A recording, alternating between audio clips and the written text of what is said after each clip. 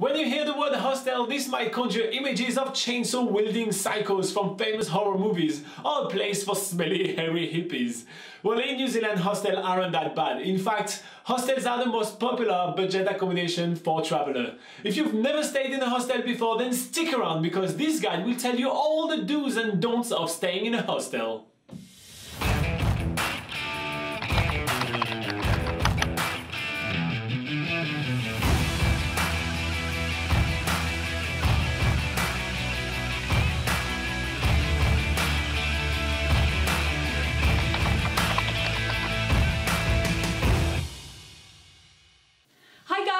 Robin and Laura, the team behind BackpackerGuide.nz, helping you plan an epic trip to New Zealand. In this beginner's guide to backpacker hostel, we'll go through everything you need to know about staying in a hostel in New Zealand.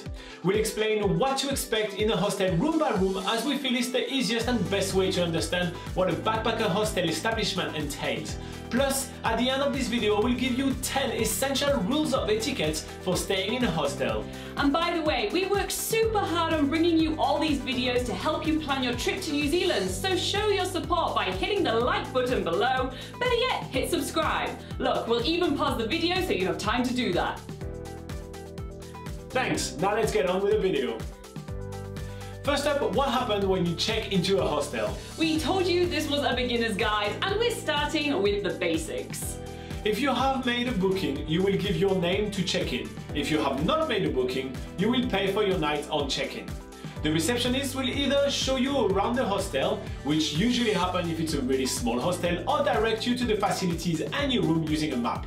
They will also go over things you need to know about the hostel and any ground rules like checkout is at 10 am, no alcohol allowed in the hostel, and the spa pool closes at 8 pm for instance. Once checked in, you will be given a key or key card to your room.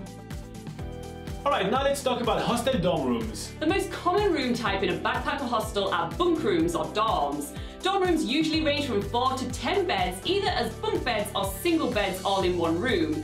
Beds almost always come with linen and bedding, and they will also likely have no sleeping bag policy. However, the odd hostel around the country will offer beds at a much cheaper price with no linen, or linen will be available to hire.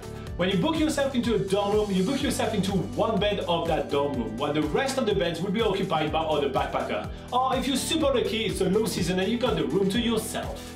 While most hostels have mixed rooms, meaning dorm rooms for males and females, some hostels offer female-only dorms and rarely there are male-only dorms too.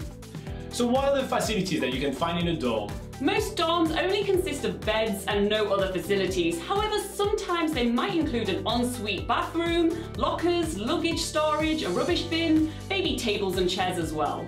And what is the price for a bed in a hostel dorm?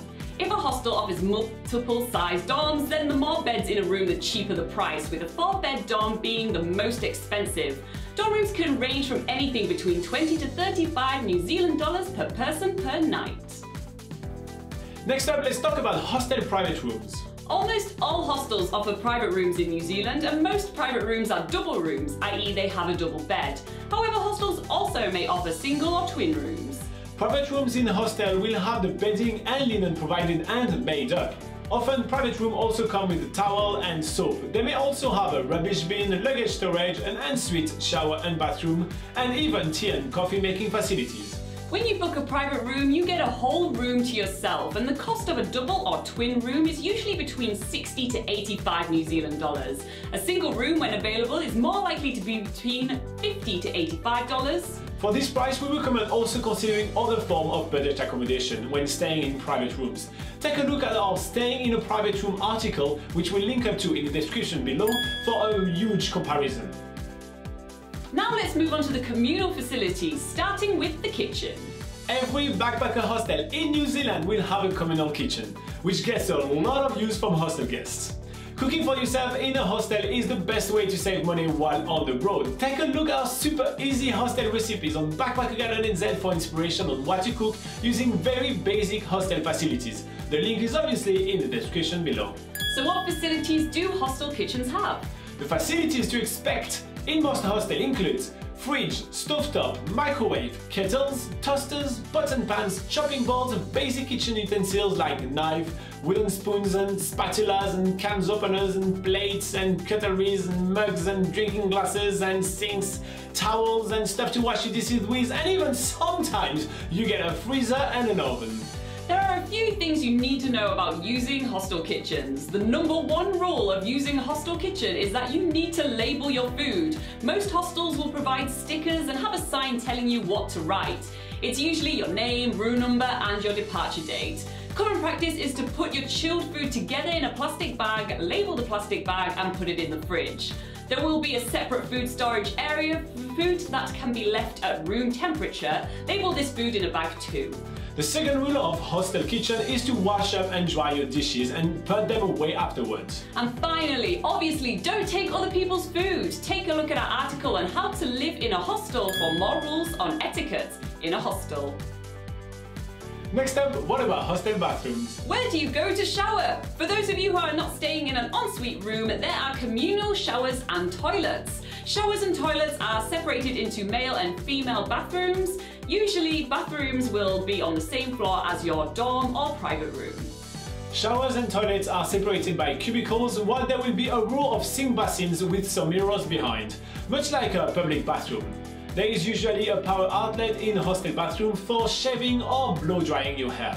If hairdryer are not provided in the bathroom itself, then there is usually one available to borrow at reception if you need it. One last note on bathrooms, shampoos and soaps are not usually provided in these shared bathrooms, so you should always bring all your own toiletries to a hostel. So what about hostel receptions? The first thing you see when entering a hostel is the reception or some sort of desk.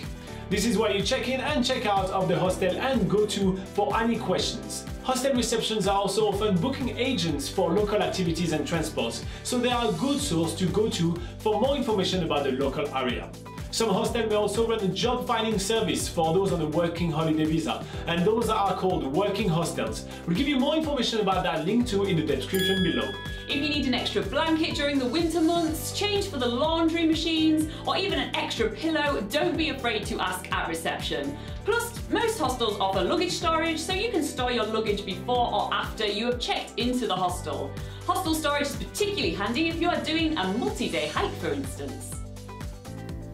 Another communal facilities is the lounge. Sofas, TV, games, backpacker hostels always have somewhere to hang out. They will often have a lounge area with sofas, tables, board games, a book exchange and more. They may also have an outside communal area too, and the communal lounge is where many hostels differ, with some providing the basics to others going all out to keep backpackers entertained. Some, but not all hostels have computers and internet access, and some, but not all, hostels have either paid Wi-Fi or free Wi-Fi, although it's not always the best connection, so learn more about staying connected in New Zealand in our guide to getting free Wi-Fi and internet linked up in the description below. Some other hostels provide other communal facilities such as spa pools, sauna, free-to-use bike, free breakfast and even game rooms. Finally, the last communal room you'll find in a hostel is the laundry room. All hostels will have a laundry facility. This usually includes multiple washing machines and tumble dryer. Sometimes there will be a washing line outside to hang your wet clothes for drying. However, if there is no washing line, then you must use a tumble dryer to dry your clothes, as hanging wet clothes in your room is generally not allowed. The typical laundry prices for the use of washing machine is 4 New Zealand dollars per wash and $4 for a cycle on the tumble dryer. Machines will either be coin operated or you'll need to purchase a token from reception. A quick tip for using the laundry in hostels is don't overfill the machine. Your clothes will not wash or dry properly if you stuff too many clothes in there because hostel laundry machines are often old and not that high tech. Saying that, when you see a good laundry facility, use it. Take advantage of the good washing machine when you see it. And note that some tumble dryers will take a couple of cycles to dry your clothes completely. That's just the way it is in some hostels with old machines. That's it for our beginner's guide to hostels in New Zealand, but as promised, here's 10 essential rules of etiquette for staying in a hostel. Number one, don't have sex in the dorm. Although it sounds like an awesome challenge, this is awkward for everyone. Number two, if you're leaving your dorm room really early the next morning, have your bags packed and your clothes ready the night before for a quick change as to not wake everyone up by rummaging. Number three, on the same note, be respectful to those sleeping in your dorm. No one likes a drunken mooncat making a noise and falling into the bunk beds. 4. Be social. It makes it easier to share a room with people when you're being social, and if your roommate doesn't seem too keen though, just give them some space. Number 5. Keep an eye on the time when doing your laundry. If you are not there when the machine has finished, then chances are that the next person will put your clothes somewhere in the room randomly. 6. Turn your phone silent at night. 7. Be tidy. Not only will people have not to trip over your stuff, it also helps you keep track of where your positions are. 8. Keep showers to a maximum of 5 minutes so that others don't have to wait for too long. Number 9. As mentioned when we talked about the kitchen, clean up after yourself, including washing and drying and putting away your dishes. This encourages more people to do the same thing and actually gives everyone a lot of space to prepare meals. And 10. Have a shower regularly and wash your clothes once, at least once a week. No one wants to share a room with a smelly person. Alright guys, we hope that that answered all your questions about staying in a backpacker hostel in New Zealand. But if you do have any extra questions, stick them in the comments below. We are here to answer them for you. Plus, we're tackling 365 days doing 365 activities in New Zealand and releasing those videos every single day. So be sure to subscribe for more New Zealand bucket list inspiration. Until next time, travel awesome.